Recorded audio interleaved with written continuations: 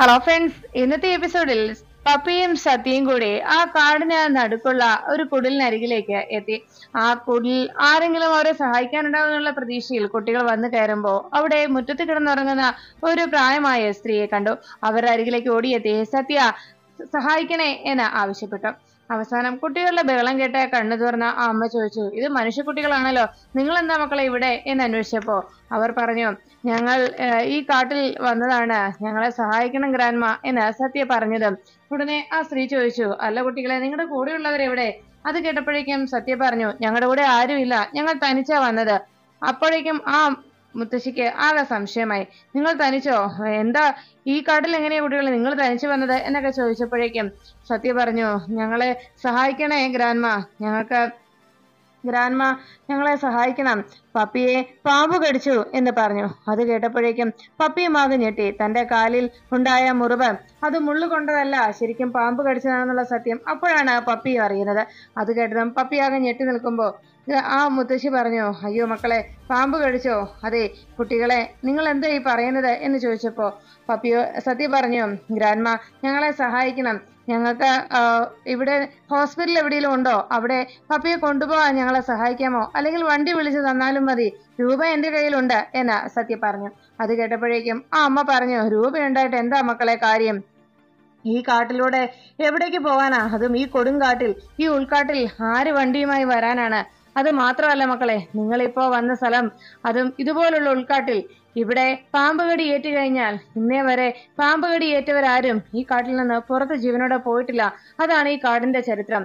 അത് കേട്ടപ്പോഴേക്കും പപ്പിക്കും സത്യക്കും ആകെ ടെൻഷനായി ഉടനെ പപ്പിയോ സത്യ ചോദിച്ചു ഇനി എന്ത് ചെയ്യും ഗ്രാൻമ എന്ന് അന്വേഷിച്ചപ്പോഴേക്കും സത്യയോട് പപ്പി പറ സത്യയോട് അങ്ങനെ മുത്തശ്ശി പറഞ്ഞു മക്കളെ നിങ്ങൾ പോകോ വെറുതെ ഈ മുത്തിയുടെ ഉറക്കം കളയാതെ എന്ന് പറഞ്ഞതും.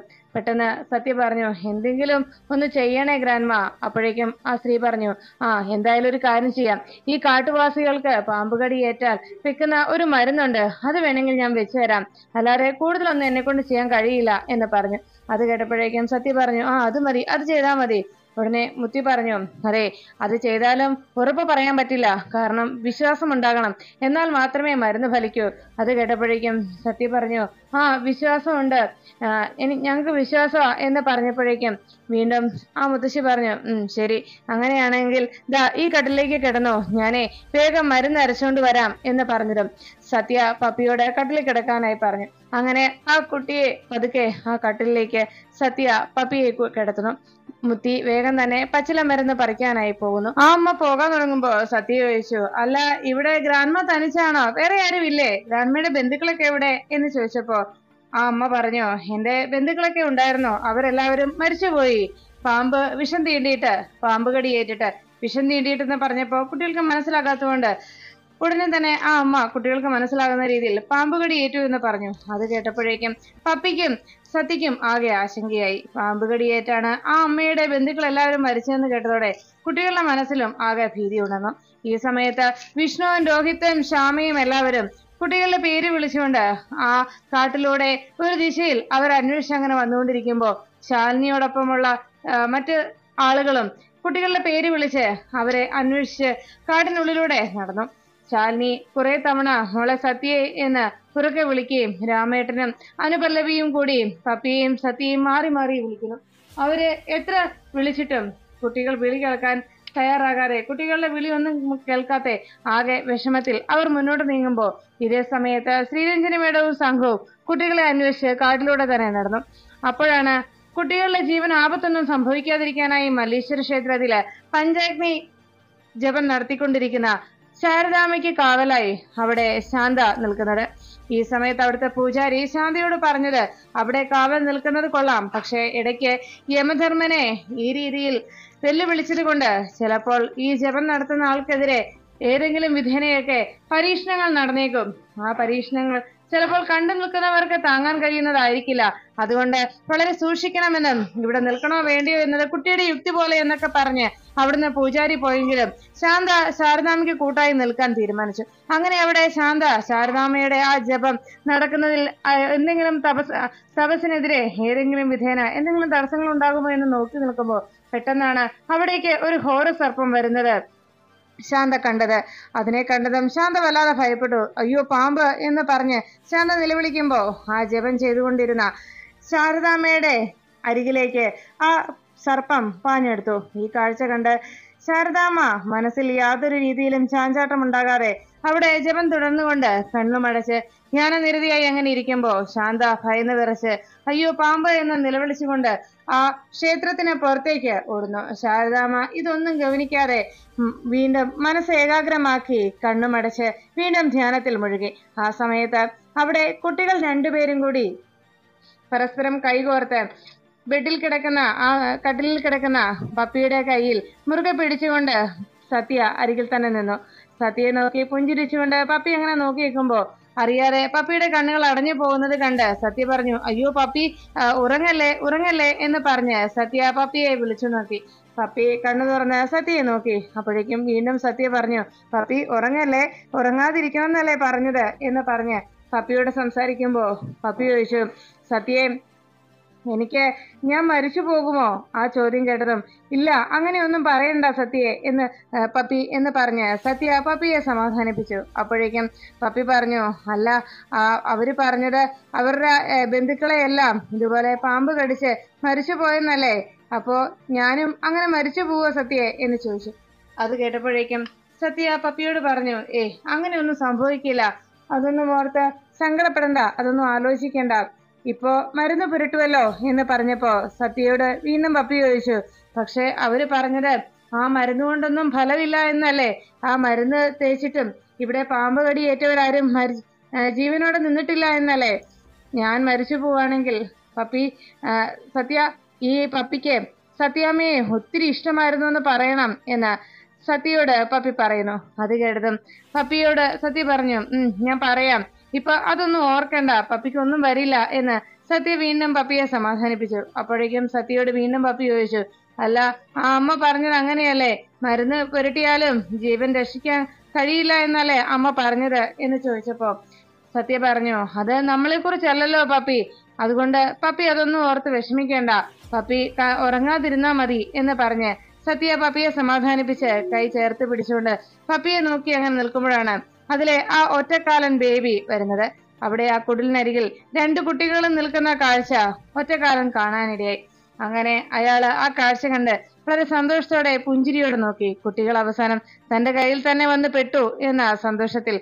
പക്ഷെ തൊട്ടരികിൽ നിന്ന ആ മുത്തിയമ്മ മരുന്നുണ്ടാക്കുന്ന കാഴ്ച കണ്ടതോടെ അവരുടെ കണ്ണിൽ പെടാതെ മറഞ്ഞിരിക്കണമെന്ന് ഒറ്റക്കാലം ബേബി ആലോചിച്ചു. അതിനെന്താ പോംവഴി എന്ന് ആലോചിച്ച് ആ വള്ളിപ്പടർപ്പുകൾക്കിടയിൽ പതുക്കെ പതുങ്ങിയിരിക്കുന്നു കുട്ടികൾ ഇതൊന്നും അറിയാതെ മുത്തിയമ്മയുടെ ചികിത്സാ രീതികളെ നോക്കിക്കൊണ്ട് അങ്ങനെ അവിടെ നിൽക്കുമ്പോൾ ശാലിനിയും മറ്റ് പോലീസ് സേനകളും ഇവിടെ കുട്ടികളെ അന്വേഷിച്ച് ഉൾക്കാട്ടിലേക്ക് വന്നു കഴിഞ്ഞു. അവിടെ വന്ന് സത്യെ പപ്പി എന്ന് അവർ മാറി മാറി വിളിച്ചിട്ടും യാതൊരു മറുപടിയും കേൾക്കാതായതോടെ ശാലിനി ആകെ തളരുന്നു. ആകെ വിഷമത്തോടെ ശാലിനി പൊട്ടിക്കരഞ്ഞുകൊണ്ട് അങ്ങനെ നിൽക്കുമ്പോൾ അനുപല്ലവിച്ച് വിളിച്ചു മേഡം അപ്പോഴേക്കും ശാലിനി വിഷമത്തോടെ പറഞ്ഞു അനു എന്റെ കുട്ടികളെ കുറിച്ച് യാതൊരു വിവരവും കിട്ടിയില്ലല്ലോ ഇത്രയൊക്കെ തപ്പിയിട്ടും അവരെ കണ്ടെത്താൻ കഴിഞ്ഞില്ലല്ലോ അനു. എന്റെ മനസ്സ് വല്ലാതെ ആശങ്കപ്പെടുന്നു എന്തോ ആപത്ത് അവർക്ക് സംഭവിച്ചു എന്ന് എന്റെ മനസ്സ് പറയുന്നു എന്ന് ശാലിനി പറയുമ്പോൾ ഉടനെ ആ police officer forest officer Lathika പറഞ്ഞു ഇല്ല മേഡം അങ്ങനെയൊന്നും സംഭവിക്കില്ല. കുട്ടികൾ ഈ അടുത്തെവിടെയോ ഉണ്ടാവും മേഡം മേഡം സമാധാനപ്പെടൂ എന്ന് പറഞ്ഞ് ലതിക ശാലിനിയെ സമാധാനിപ്പിക്കുന്നു.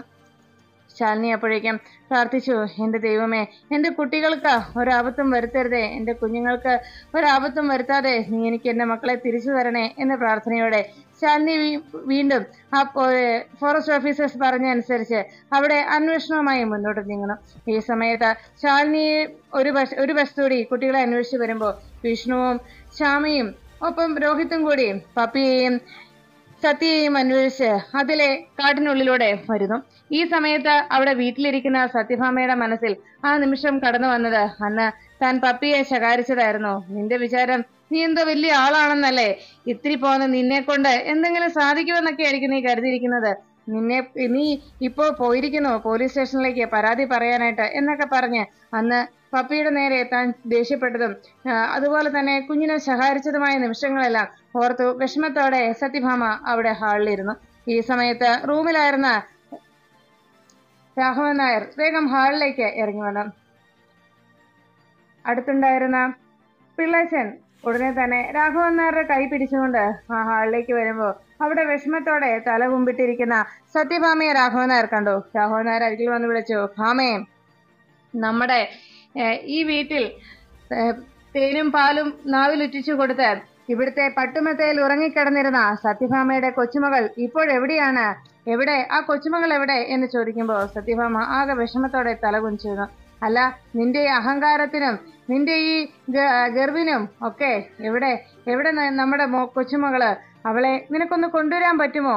നിന്റെ ഈ പദവിക്കും പത്രാസിനുമൊക്കെ നിന്റെ അധികാരത്തിനും നിന്റെ പിടിപാടിനുമൊക്കെ നമ്മുടെ മോളെ കണ്ടെത്താൻ കഴിയുമോ അവൾ എന്തിന്? അവൾ എവിടെയാണെന്നെങ്കിലും ഒന്ന് കണ്ടെത്തി കൊണ്ടുവരാൻ കഴിയുമോ? ഒന്ന് പറയാൻ കഴിയുമോ സത്യയെ സത്യഭാമേ എന്ന് ചോദിക്കുമ്പോൾ ഉടനെ ആകെ വിഷമത്തോടെ സത്യഭാമ കണ്ണുനീരൊലിപ്പിച്ച് അങ്ങനെ നിന്നു.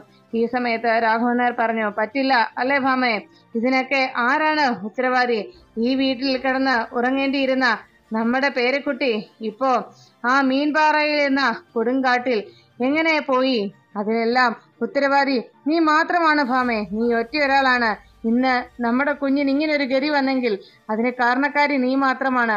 ഈ നിമിഷം നമ്മുടെ കുഞ്ഞുങ്ങൾ ആ കുഞ്ഞ് വല്ലോ കടുവയുടെയോ സിംഹത്തിന്റെയോ വായിൽ അകപ്പെടുകയോ മറ്റേതെങ്കിലും ആപത്തിൽ ചെന്ന് പെടുകയോ ചെയ്തിട്ടുണ്ടെങ്കിൽ അതിനെല്ലാത്തിനും ഉത്തരവാദി നീ മാത്രമാണ് ഭാമേ. നീ ഒറ്റ ഒരാൾ എന്ന് പറഞ്ഞ് രാഘവൻ നായർ മനസ്സിടറി വേഗം ആ കാൽ മനസ്സിലറിയതോടെ ആ കാലും വേച്ചുപോയി ആ നിമിഷം തന്നെ രാഘവൻ നായർ ആകെ വിഷമത്തോടെ ആ സെറ്റിയിലേക്ക് ചെന്ന് വീഴുന്നു.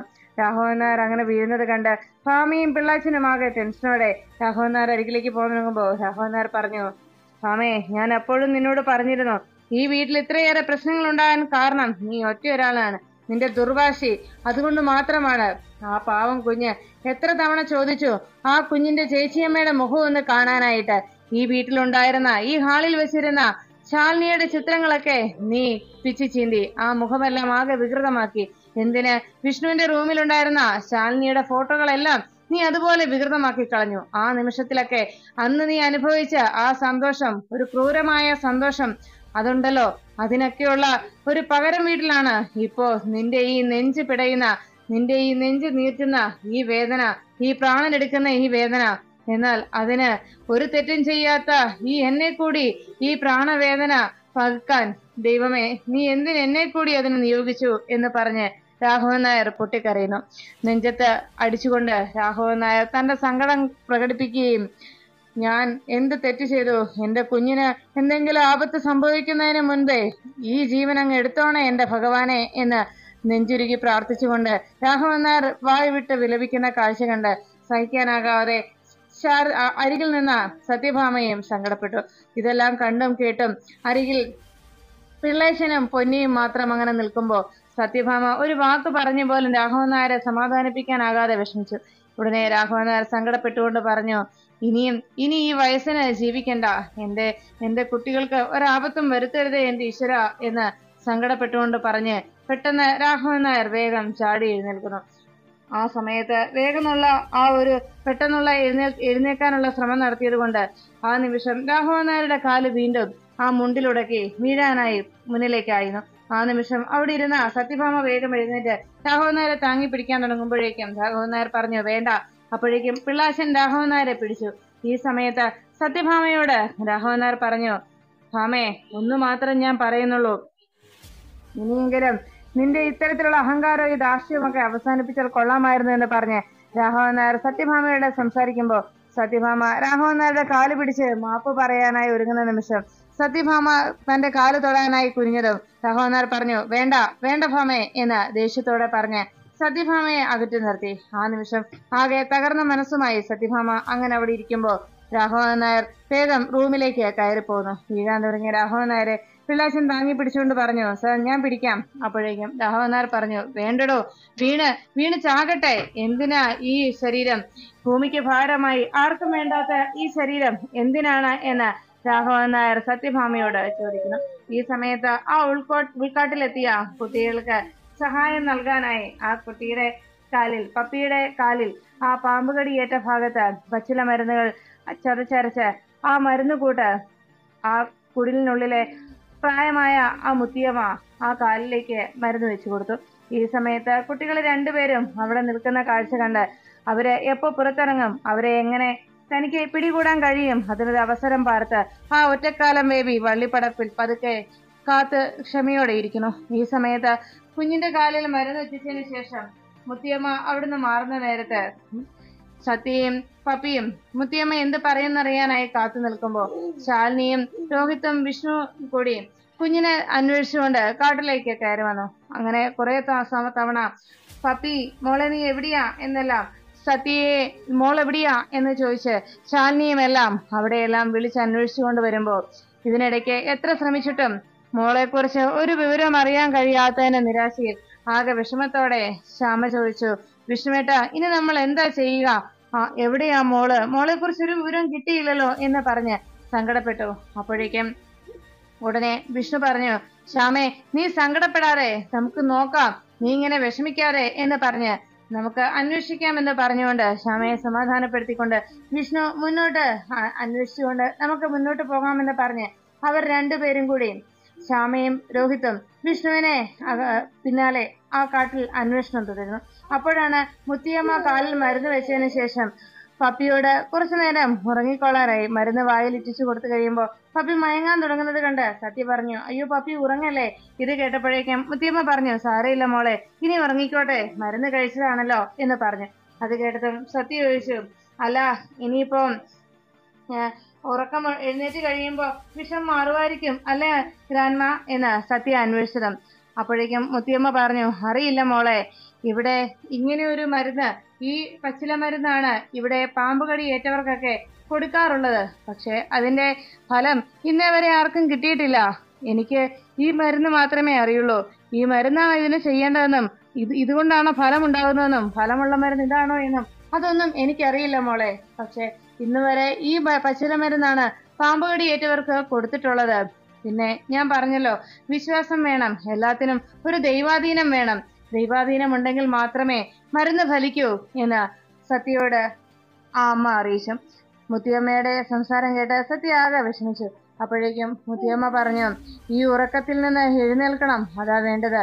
ഈ ഉറക്കത്തിൽ നിന്ന് എഴുന്നേൽക്കാനായി ദൈവത്തോട് പ്രാർത്ഥിക്കാം. മുത്തിയമ്മയോട് സംസാരിച്ചു കഴിയുമ്പോ സത്യക്ക് ആകെ വിഷമാവുന്നു പപ്പിക്ക് ഒരാപത്തും വരരുതേ. പപ്പി ഉടനെ തന്നെ കണ്ണു തുറക്കണേ എന്ന പ്രാർത്ഥനയോടെ സത്യ അങ്ങനെ ഇരിക്കുമ്പോ മുത്തിയമ്മ പറഞ്ഞു ഇനി മോൾ വേണമെങ്കിൽ കുറച്ചു നേരം കിടന്ന് ഉറങ്ങിക്കോ. അപ്പോഴേക്കും സത്യ പറഞ്ഞു വേണ്ട വേണ്ട ഗ്രാൻമ ഇനി കുറച്ചു നേരമല്ലേ ഉള്ളൂ. പപ്പി കണ്ണു തുറക്കട്ടെ. എന്നിട്ട് മതി. ഞാൻ പപ്പി കണ്ണു തുറക്കുന്നത് വരെ കാത്തിരുന്നോളാം എന്ന് പറഞ്ഞു. അപ്പോഴേക്കും മുത്തിയമ്മ വേഗം ആ സൈഡിലേക്ക് പോയി ഇരുന്നിട്ട് പറഞ്ഞു അത് ശരി ഇത്രയും പ്രായം കുറഞ്ഞ മോൾക്ക് കാത്തിരിക്കാമെങ്കിൽ പിന്നെ ഈ പ്രായമായ ഈ മുത്തിക്കാണോ കാത്തിരിക്കാൻ പറ്റാത്തത്? എന്ന് ചോദിച്ച്. സത്യയോടൊപ്പം അവിടെ മുത്തിയമ്മയും കൂടി സത്യ പപ്പി കണ്ണു തുറക്കുന്നതിനായി കാത്തിരിക്കുന്നു.